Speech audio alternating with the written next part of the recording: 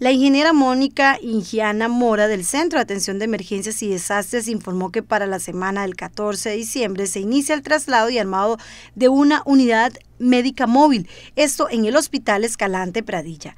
Cuenta con tres módulos con capacidad para 20 camillas y equipo médico básico como monitores, esfinomanómetros, desfilibradores, electrocardiógrafos y otros dispositivos para ofrecer atenciones de calidad a los pacientes que lo requieren.